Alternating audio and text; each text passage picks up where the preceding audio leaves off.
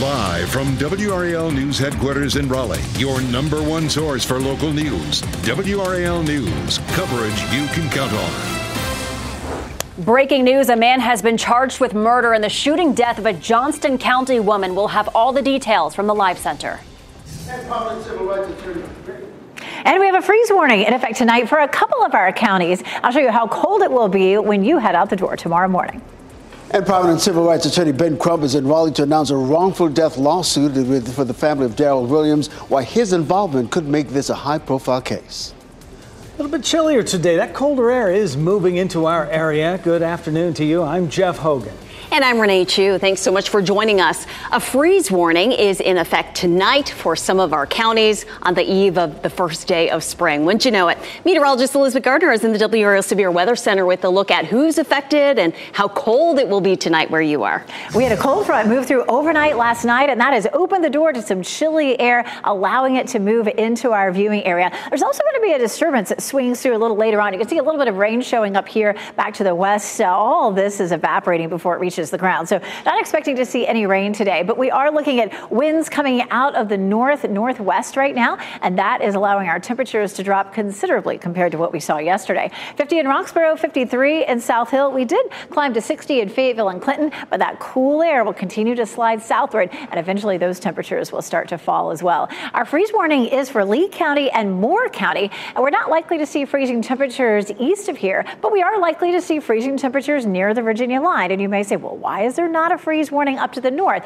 The growing season hasn't begun here, and I'm going to go into detail about what that really means coming up in just a few minutes. But let's talk about some of those temperatures, and we're not looking, I'm not sure why it's showing up that cold. Well, we're not going to be in the 20s overnight tonight, but we are going to see temperatures in the low 30s across much of the region. Our wind speeds right now are about uh, 3 to as much as 15 miles per hour, and of course that makes it feel really chilly. We'll see some gusts this afternoon, 18 to 19 miles per hour. And tomorrow morning, it's possible that the wind chills will be down in the 20s in some places. We also have a small chance for some showers this, uh, this evening, and I'll walk you through that on Futurecast coming up in just a few minutes. And breaking news right now in the WRAL Live Center, we now know that a large law enforcement presence at a Johnston County home was due to a deadly shooting. We have video from the WRAL breaking news tracker of that scene. Deputies were called to this home here in Johnston County on Bear Oak Drive uh, just before 9:30 last night. They arrived to find 44-year-old Emily Steinhoff dead. Officials say Steinhoff had taken her sister to this home to pick up her baby. The baby had spent the weekend with his father, 50-year-old Dorian Thomas. It was during the custody it, the custody exchange that deputies say Thomas shot Steinhoff. Thomas is charged with murder. He's being held in a Johnston County detention center without bond this afternoon. Thanks for that. Breaking right now, police say a juvenile assaulted a woman on a greenway this morning. WRAL's Destiny Patterson is live with what authorities say happened and where. Destiny. Well, Renee, right now I'm standing in the Brent, in the Bent Creek area in Raleigh. Right here is the entrance to the East Fork Mine Creek Trail, and police say that a woman was assaulted along a greenway right about 8:30 this morning. Now, I talked to a neighbor who lives in He's lived here for about 20 years, and nothing like this has ever happened here. Wherever you go, there's always some kind of mixed up folk making life a little bit more difficult for other individuals out here. At this point, the suspect is described as a juvenile, so we won't know his identity. But radio traffic describes that that person as a teen between the ages of 16 and 18, and that woman was taken to the hospital with non life threatening injuries. We're going to continue to stay out here and bring you updates as we get them. Renee? Destiny Patterson, live in Raleigh. Thank you. Happening today, prominent civil rights attorney Ben Crump will be in Raleigh and he will announce the filing of a wrongful death lawsuit on behalf of the family of Daryl Williams. WRAL's Ken Smith is here now with how Crump's involvement could make this a high profile case, Ken. You know, Jeff, the term high profile applies to attorney Brent Crump. His involvement in cases like the Daryl Williams case tend to generate a lot of attention. Well, Crump is expected to talk in more detail about this lawsuit that names the city of Raleigh, the police chief, and the officers involved in Williams' death as defendants.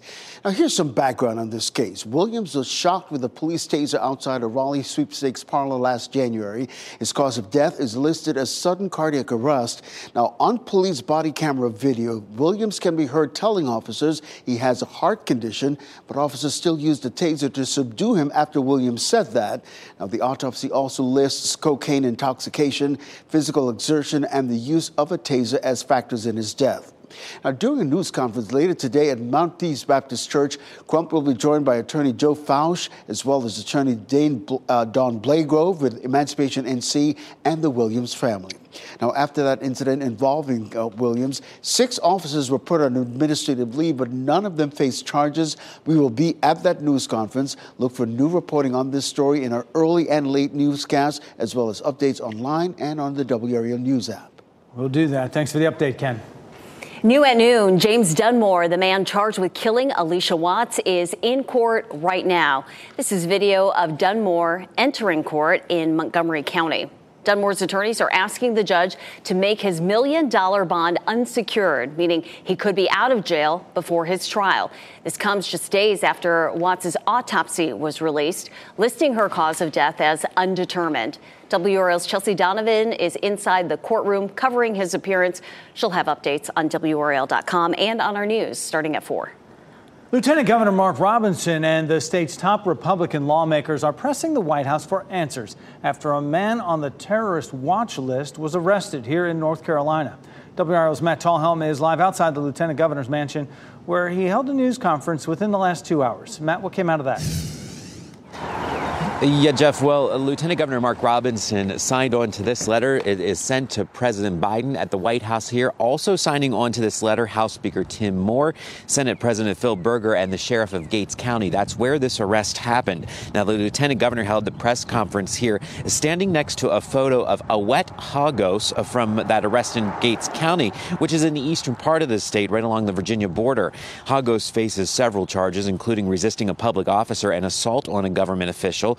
The sheriff's office says Hagos is from Africa and is on the federal terrorist watch list. The lieutenant governor used his office here to raise some questions about this case and to criticize the president's immigration policies. I asked Robinson why he's calling this an urgent threat now since uh, this arrest happened a week ago. At what point between then and now did this become an urgent public safety threat? And have you spoken to the governor or state law enforcement about this? Uh, it was urgent from the very beginning when it was brought to our radar. That's why we contacted the sheriff immediately to let uh, ask him uh, what we could do uh, to heighten folks' awareness and to let him know that we were there for his office to give him any assistance he needed. So it was urgent from the very beginning. And yes, we have sent this letter to the entire Council of State. Uh, we have reached out to Governor Roy Cooper's office to find out uh, what they know about this case and if they have talked to the lieutenant governor about this. Robinson, of course, is running for governor, and immigration has become a big issue that Republicans are taking on in their campaigns. In fact, immigration was the most important issue for Republican North Carolina voters in a recent WRAL news poll. Robinson uh, did waver a bit when he was asked whether he supports the bipartisan bill that was put into Congress. It failed under uh, uh, urging from President Donald Trump to reject that. So Republicans voted against that bipartisan immigration bill. Robinson here today said he wouldn't fully support it, but he wouldn't not fully support that immigration bill. All right, Matt Talhelm live outside the Lieutenant Governor's mansion in Raleigh. Thank you. Today, enrollment for an after school program begins for Durham Elementary School students. This year, the program will use a lottery system to fill open slots. WRAL's Kelsey Coffey explains some parents are not happy about this new way to sign up. This is going to impact working parents the most. The staff here at the Durham Public Schools Central Services Building will be taking those applications starting today. And if parents sign their student up, their spot won't be guaranteed. The district says there are two factors at play here staffing and higher demand. Right now, there are more than 1,600 slots in the elementary aftercare program, but there's 15 staff vacancies and nearly 300 students on the wait list. The lottery comes just weeks after classes were canceled for several days due to employee pay issues. This brings up a lot of concerns for parents, especially those who have multiple students, because there's a possibility that one student may be able to get in and their other children won't. That lottery application will close April 5th. Kelsey Coffey, WRAL News in Durham. Tip off times are out for the Triangle women's basketball teams playing in the NCAA tournament. UNC is an eight seed, Duke is a seven seed, and NC State a three seed. So NC State will host first and second round games right here at uh, Reynolds Coliseum. They will host Chattanooga Saturday afternoon at 2:30. That will be shown on ESPNU. The winner of that game will play the winner of Tennessee and Green Bay. Duke will be in Columbus, Ohio for the first round matchup against Richmond. That game tips off at 2:30 on Friday. It'll be on ESPN News, and if Duke wins, they will likely play a home Ohio State team in the second round. And on Friday, the Tar Heel women will play Michigan State in the first round in Columbia, South Carolina at 11:30 in the morning. The game will be on ESPN2. If UNC gets the win, they will likely play undefeated South Carolina in the second round. Three Tobacco Road teams are getting ready for their first round matchups in the NCAA men's basketball tournament. We got them lined up right here for you. North Carolina, one seed. The Tar Heels will play Thursday in Charlotte against the winner of the play in game between Howard University and Wagner College. The Duke Blue Devils are a four seed in the South region. Duke will play Friday night in Brooklyn against Vermont. And coming off that improbable and historic ACC tournament championship, NC State scored an 11 seed in the tournament. The Wolfpack will play Thursday night against Texas Tech in the first round, and that game is in Pittsburgh. The WRAL Interactive NCAA bracket has a breakdown of every team and every game in March Madness. You can check it out before you make your picks. Just search bracket on WRAL.com. Next at noon, a deadly weekend for spring breakers in Florida. The number of arrests in Miami Beach, even with curfews in place. Also, the Supreme Court is now involved on whether the Biden administration violated the First Amendment. The case they will hear on free speech. Plus, Dollar General is throwing in the towel on self checkout, the new rules designed to limit shoplifting.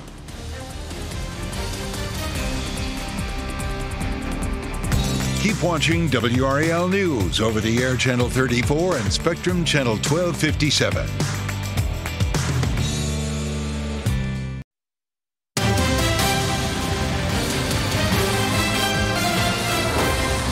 Miami police arrested hundreds of spring breakers despite implementing a curfew over the weekend. Dana Marie McNichol has the latest.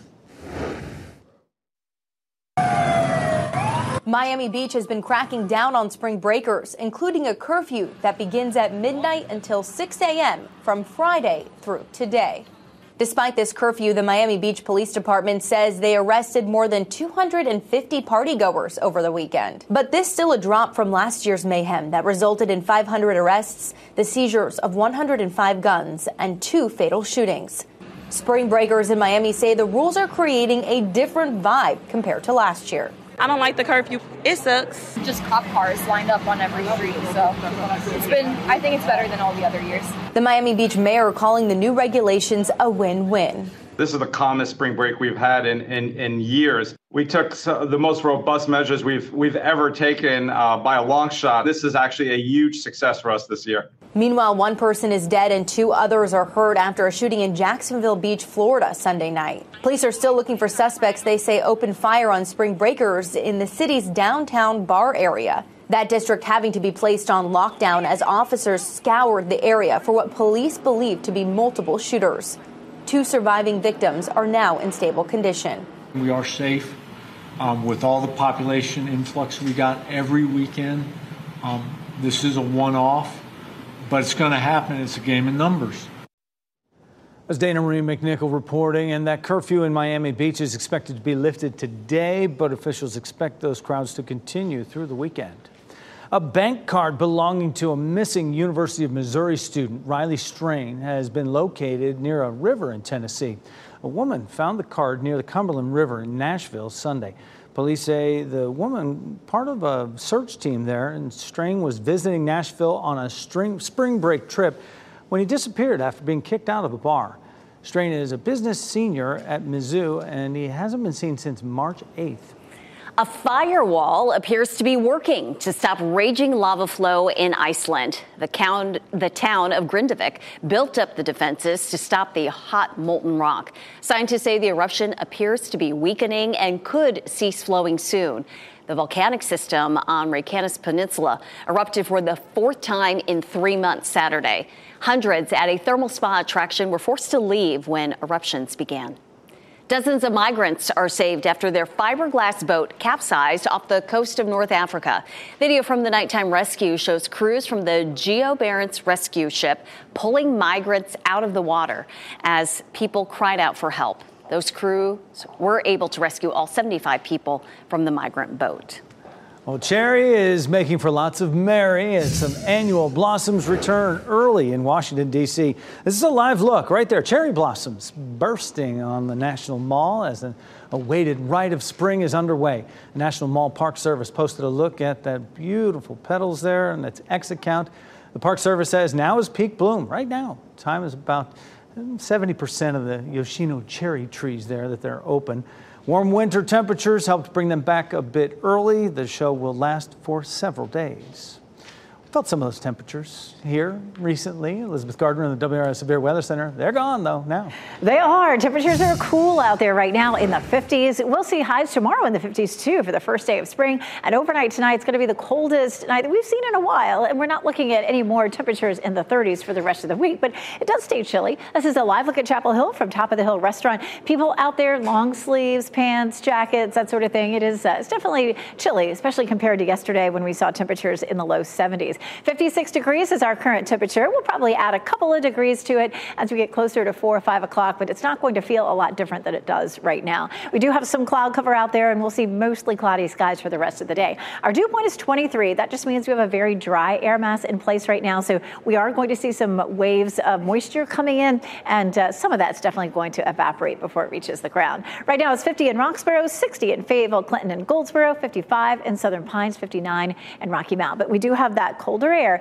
that's filtering in behind last night's front, and it will continue to cool down our entire viewing area over the next 12 hours. 58 in Raleigh this afternoon, 57 in Durham, and 62 in Fayetteville. We do have that freeze warning that's in effect for Lee and Moore counties overnight tonight, where temperatures will likely be down in the low 30s. Now, we are looking at some freezing temperatures in our northern counties, but there is no warning out for those counties. That's because the growing season hasn't begun there. The National Weather Service looks at uh, the historic times of the year when we tend to see uh, the first free or the last freeze, I should say. And then, of course, uh, the way the weather's been for the last month or so to determine when the growing season begins. So next Sunday, the growing season begins in our northern counties, but yesterday it began in our southern counties. And that's why it's uh, those two counties that are under the warning, even though that we're looking at uh, some cold freezing temperatures up to the north. It's a little bit confusing this time of year. By next week, no matter where we have freezing temperatures, everyone will be under that advisory.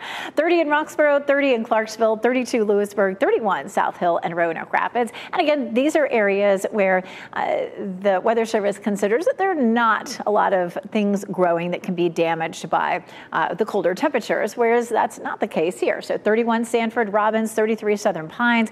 Uh, we could see some damage there. Temperatures east of that are in the mid 30s, most likely overnight tonight. 40s are normal lows, so we are back to closer to normal temperatures Wednesday, Thursday, and Friday, and then a little warmer than that on Saturday. We do have a small chance of a few sprinkles, a little bit of light rain uh, this evening from, say, 8 o'clock until midnight. Our pollen count is up. You probably noticed the yellow pine pollen is out everywhere. Now, the pine pollen is messy, but it's not an allergen, but oak definitely is. So I know there are a lot of people suffering with allergies right now.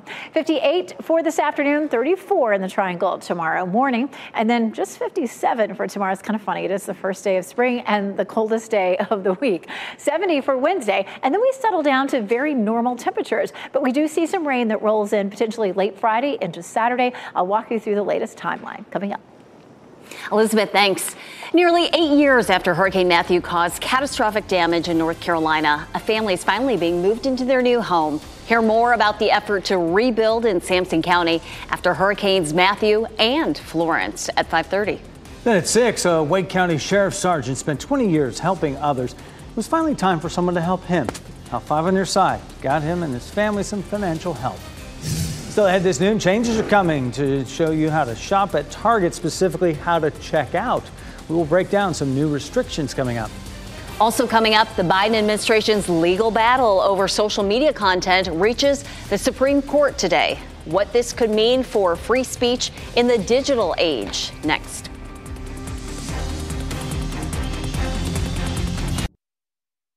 The Supreme Court is expected to hear arguments today on whether the Biden administration violated the First Amendment by pressuring social media companies to remove certain content. This case stems from the Biden administration calling for some misinformation about COVID 19 and the 2020 election to be removed from sites, which could have an impact on free speech protection. The Biden administration says limiting talks between government officials and social media owners could hurt its ability to address security risks and other public concern issues. Dollar General is backing away from the self checkout trend in retail. The company is pulling out self checkout stands in 300 stores that see the highest numbers of shoplifting and merchandise losses. In 9,000 other stores, Dollar General is converting some or all of its self checkout registers to regular checkout with cashiers. And the company is limiting self checkout to purchases of five items or fewer in more than 4,000 other stores. Same deal at Target, Renee. The days of being stuck behind someone with a cart full of items in the self checkout line at Target are over. Retail giant announced customers will be limited to no more than 10 items if they go through the self checkout. The change to express self checkout goes into effect on Sunday at most of the chain's 2,000 stores nationwide. Target also says it plans on opening more traditional lanes that are staffed by employees. Another streaming platform is cracking down on password sharing. Hulu now joins Netflix in a new policy keeping people who don't live in the same household from using the same account. The company sent an email out in January warning users the new policy would begin in March. Disney Plus is also planning to introduce a new password sharing policy this summer, and Max says it'll roll out a new plan next year. Filing your taxes can be confusing. Tomorrow, you can get free help from Tax Pros on Call. Five on Your Side has partnered with the North Carolina Society of Enrolled Agents for a call in event on Tuesday. Federally licensed tax professionals are volunteering their time to take your calls and answer your questions. Call in tomorrow from 4 to 7 p.m. Tune in to WRAL for reports on tax changes, scams, and other resources available in our community. Breaking news the man charged with killing Alicia Watts will remain in jail under the same bond. James Dunmore's attorneys were calling for his release. WRAL's Chelsea Donovan will join us live outside the courtroom with new developments. And before that, as we head to break, here are your winning lottery numbers from the NC Education Lottery on your screen.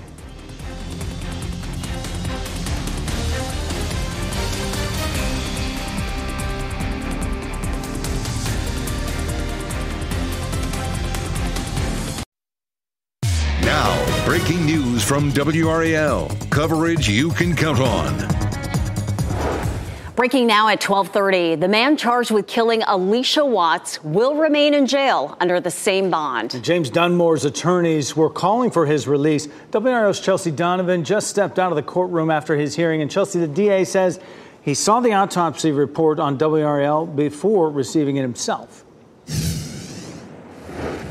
So, Assistant District Attorney Arthur Donato here in Montgomery County said in open court today that he only learned that Alicia Watts's cause of death was undetermined after he sat down for lunch on March the 12th, turned on his computer, opened up our website, WRAL.com, and there he saw that. He said it's unfortunate that the media got a copy of her autopsy and the state has not, but he noted that Alicia was found dead in August uh, in a soggy pond bottom, but her autopsy wasn't finished or brought to his attention until last week. And of course, now that he knows that, he needs some time to sit down and question the medical examiner.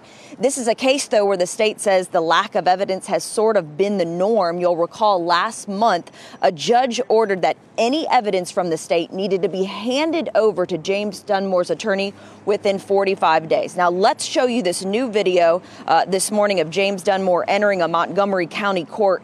His attorney, Laura Baker, said after that autopsy was made public, she filed a motion to release James Dunmore because Alicia Watts's manner of death was found to be undetermined. Uh, his attorney felt that he should be released immediately from jail since the state does not have enough evidence to keep him locked up. However, the state brought back this motion and noted that James Dunmore allegedly left Alicia Watts in a soggy pond bottom where it was discovered months later. Uh, the state also noted that to the judge that James Dunmore has a history of domestic violence charges and convictions, and those are the reason that right now he should remain behind bars. So in the end, Judge Taylor Brown uh, left James Dunmore's bond at a million dollars secured. He'll be back here in court next month, and coming up in our later newscasts, you'll hear from all of Alicia Alicia Watts' friends and family and community members that came to this courthouse today to show their support. Yeah, a lot of new information coming out of this case. Chelsea Donovan live in Montgomery County for us. Thank you. In breaking news right now in the WRAL Live Center, UNC head football coach Mack Brown has addressed the three UNC football players charged in a deadly crash that happened back in January. They are still practicing with the team as the legal process plays out. Uh, he announced that in a press conference earlier today. He says they've stayed out of it. He says they are letting the legal process take its course. Take a listen. Uh, but they will be involved in spring practice, and we're disappointed anytime any of our guys uh, get mentioned in, in something that, that is uh, uh, against the law with a misdemeanor. Uh, but we've had the best record in the country of anybody, and I'm, I'm really, really proud of those guys and, and uh, disappointed in, in the three that are, are being questioned, but uh, that'll work itself out. Zachary Rice faces charges in connection with the January 21st crash that killed fellow student Molly Rotunda. Two other UNC football players are also charged Travis Shaw and Malachi Hamrick. Uh, charges include possession of alcohol, exceeding a speed limit, and also underage possession of alcohol. We'll have more on the story coming up today at 4. All right, Michelle, thanks for that update. A global company is opening its doors to public school students in Durham. It's part of an inside look at the tech world for young minds. Mm. More than a dozen middle schoolers are the, at the Google offices in downtown Durham learning coding from the ground up. WRAL's Monica Casey is there with them. Monica, what a cool collaboration. I'm sure this will be a day those students will never forget.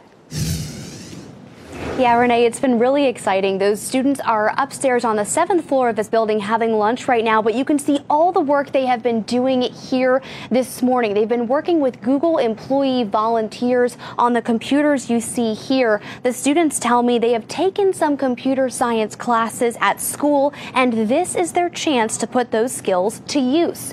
Durham Mayor Leonardo Williams was also here today encouraging these students. He tells me this event shows how Durham can leverage the companies that are here, connecting young people to some of the best jobs available.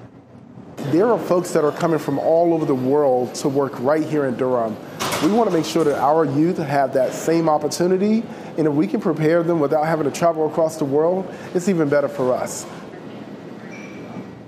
Google employees tell me students today are learning the basics, opening up their computers and circuitry and working with volunteers to build those computers from scratch. The students here today tell me they are excited to learn about all of the opportunities a company like Google can offer and to take their experience outside of a traditional classroom setting. Renee? So exciting for those students. Monica Casey, live in Durham. Thank you. Tonight, Durham city leaders will consider asking for $5 million to begin cleaning up lead contaminated soil at several parks in the city. Mayor Williams says the topic will be a significant focus during their budget meeting. People who live there believe the $5 million request is a good start, but only a start. The city has also requested the Durham County Department of Public Health provide additional blood lead testing, which the department ended in October of last year. City leaders will meet tonight at 7. Russian President Vladimir Putin mentions his former political rival for the first time since his death. Putin says he was a supporter of a potential prisoner swap of opposition leader Alexei Navalny just days before Navalny died in a Russian prison last month. Navalny's allies say Russia was in the final phase of negotiations with Western officials for a prisoner swap. Putin is also extending his presidency in Russia after winning by a landslide in Sunday's election. North Korea fired missiles into the sea today as U.S. Secretary of State Antony Blinken visited South Korea. Blinken went to Seoul for a conference on advancing democracy. South Korea's military says several short range missiles were fired. The State Department condemned the missile launches and called on North Korea to engage in diplomacy and dialogue. The missile launches come days after South Korea and the U.S. wrapped up large scale joint military drills. The career field that's in demand for this decade is STEM. Why it's critical to get students hooked on STEM as early as elementary school. And you may want to drink more kombucha or eat more kimchi. How fermented foods can boost your health. Our team is working to bring you exclusive stories. For coverage you'll find only on WRAL, visit WRAL.com and search only.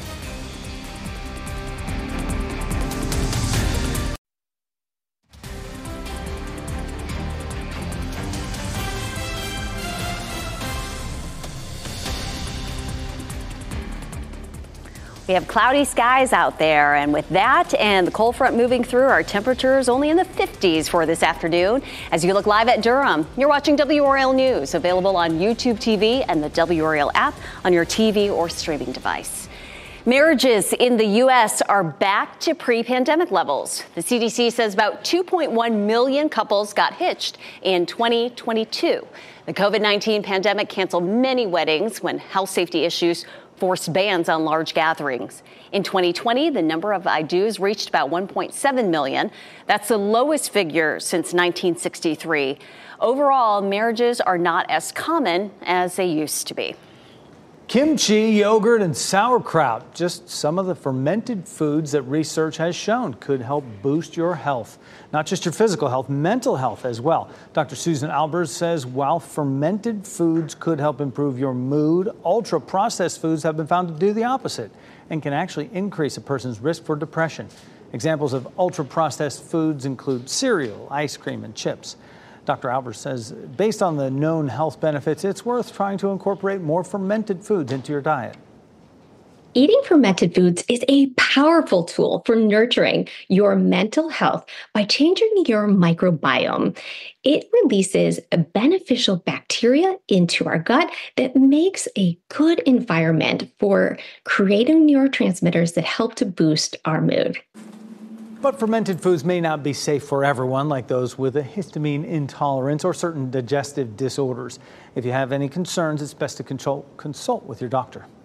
Celine Dion is updating fans about her current health condition. The singer revealed her battle with stiff person syndrome in 2022. It's a rare neurological condition that triggers spasms and muscle rigidity. Last Friday, Dion said battling the condition has, quote, been one of the hardest experiences of my life.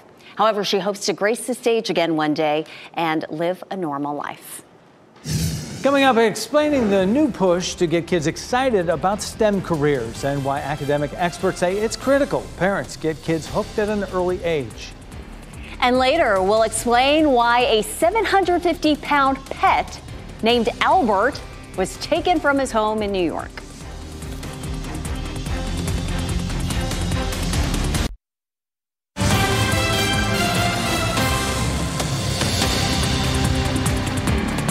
Happening right now in the WRAL Life Center. Wilson County is getting 400 new jobs. Biopharma manufacturer Schott Pharma USA uh, says they plan to create 401 jobs in Wilson County. Schott would build a new facility in Wilson to make syringes for pharmaceutical and biotech companies. They said they're looking to employ.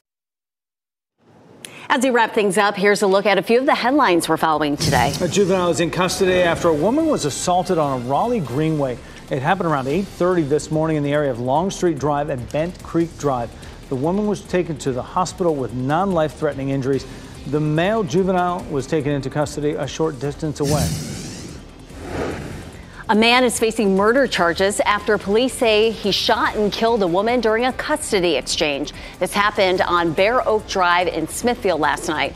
Police say Emily Steinhoff had taken her sister to pick up her baby from Dorian Thomas, the baby's father. And that's when Thomas shot Steinhoff.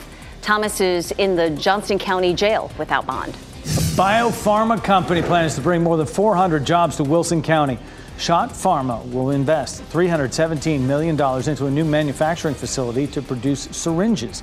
Construction begins by the end of this year with operations beginning in 2027. The announcement came today during a meeting of the State Department of Commerce's Economic Investment Committee. There's another big weekend at the box office for Kung Fu Panda 4. The animated adventure took the top spot for the second weekend in a row, bringing in $30 million. It beat out Dune Part 2, which held steady at number two, having earned just a little over $29 million this weekend. Mark Wahlberg's new movie, Arthur the King, debuted at third place, $7.5 million. Authorities seized a 750 pound pet alligator from a New York home. The gator, named Albert, is believed to be about 30 years old. The pet was taken away after the owner was unable to renew his license to keep Albert. The massive reptile is now receiving treatment from a licensed caretaker. A senior dog in Texas has waited years to find his forever home, and his wish has finally come true. A 10 year old Velcro has special needs, including being partially blind and deaf, and has mobility issues.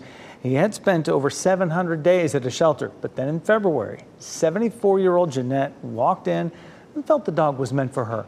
So Jeanette encourages others to not overlook special needs and senior dogs because they deserve love as well. Aw, seeing the two of them together, that's so sweet. I love it. Durham Public School students are getting a behind the scenes look at what it's like to work for Google. WRAL's Monica Casey takes us inside their hands on day of STEM learning coming up on WRAL News today at 4. NBC News Daily is next on WRAL, your next local news update in 30 minutes. You can always get breaking news updates anytime with our WRAL News app. A little bit of sunshine out there, yeah. but it's kind of chilly. Have a great day.